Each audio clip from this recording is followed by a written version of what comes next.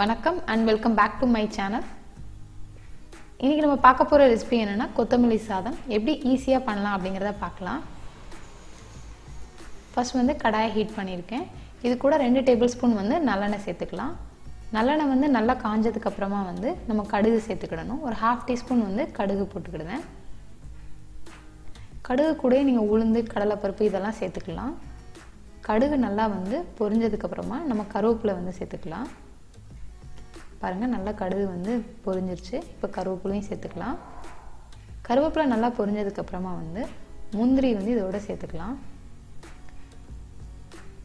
முந்திரி கூடையே வந்து வேர்க்கடலையும் வந்து சேர்த்துக்கலாம். அப்போ தான் வந்து சாப்பிடும்போது கொஞ்சம் டேஸ்ட் வந்து நல்லாயிருக்கும். இப்போ வந்து ஒரு வெங்காயம் வந்து இந்த மாதிரி ஸ்லைஸாக கட் பண்ணி வச்சுருக்கேன். இதையும் சேர்த்து நல்லா வதக்கிக்கிடலாம்.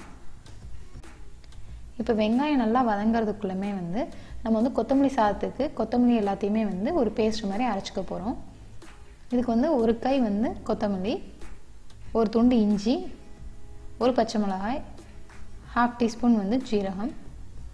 இது சேர்த்து இந்த மாதிரி பேஸ்ட்டாக நல்லா அரைச்சிக்கிட்டோம். இப்போ வெங்காயமும் நல்லா வதங்கிருச்சு.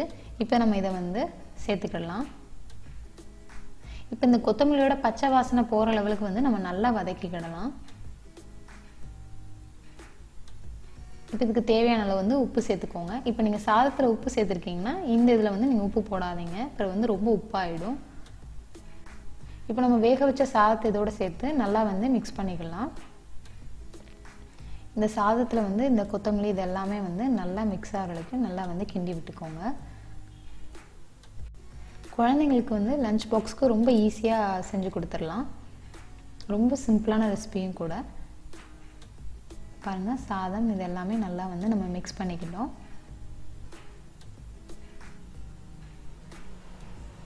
இப்போ நமக்கு வந்து சூப்பரான கொத்தமல்லி சாதம் வந்து ரெடி ஆயிடுச்சு. இந்த வீடியோ உங்களுக்கு பிடிச்சிருந்தா மறக்காமல் என்னோட சேனலுக்கு சப்ஸ்கிரைப் பண்ணுங்கள் பக்கத்தில் இருக்க பெல் பட்டனையும் கிளிக் பண்ணுங்கள் அப்போ தான் நான் போடுற வீடியோ உடனே உங்களோட நோட்டிஃபிகேஷனுக்கு வரும். மறக்காமல் லைக் பண்ணுங்கள் ஷேர் பண்ணுங்கள் கமெண்ட் பண்ணுங்கள் நன்றி.